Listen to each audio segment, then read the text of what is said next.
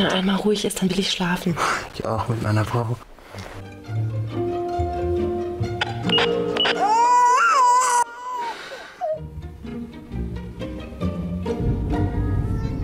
...130 ist seine Schlafgeschwindigkeit. Sag mal, das kann doch nicht dein Ernst sein. Und Tim? Er ist im Auto und schläft. Wir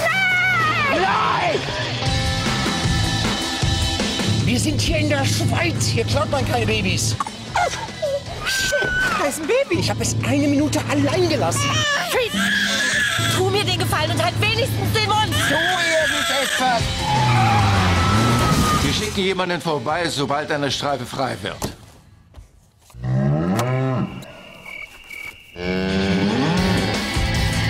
Gib Gas.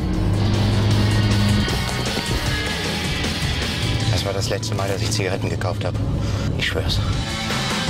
Bring das zum Schweigen. Wieso ich? Du bist die Frau. Du bist der Idiot, der Babys klaut.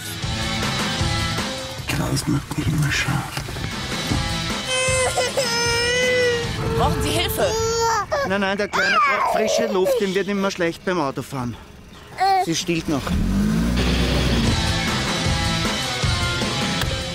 Wenn er wieder bei uns ist, dann darf er jede Nacht durchschreiben.